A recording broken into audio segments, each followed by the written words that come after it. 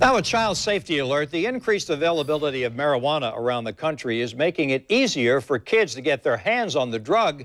And now we're learning that more and more of them are ending up in the hospital as a result. According to a study, the number of children admitted to emergency rooms for unintentional marijuana intoxication jumped 133% in France between 2004 and 2014.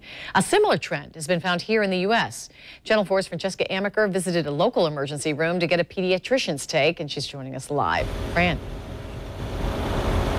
You know, I couldn't get exact numbers of how many kids have been admitted to the ER here in Northeast Florida, but I did find this was interesting when the pediatrician that I spoke with said the marijuana smoke is just as deadly as the smoke that comes from cigarettes. So parents, if you don't want your child touching or inhaling cigarette smoke, then make sure nothing dealing with marijuana is in their reach.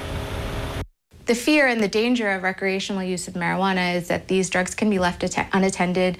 I had mentioned before, they really look appealing to children. It's a problem that is growing across the nation.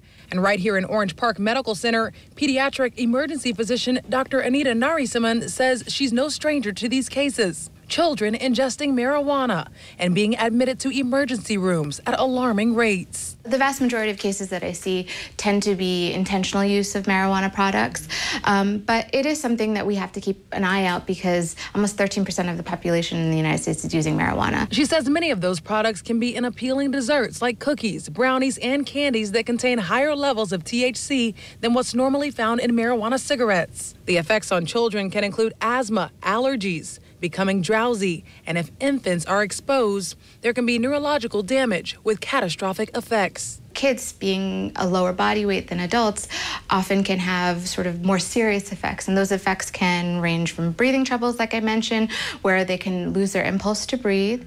Um, they can have seizures. Um, they can also have, with the synthetic marijuana's cardiac effects.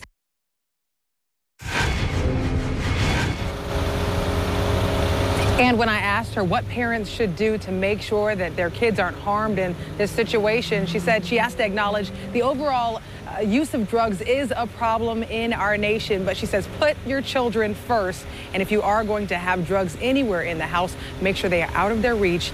Put it in some type of uh, excuse me, put it in some type of uh, cabinet if you can, or just put it up in your home.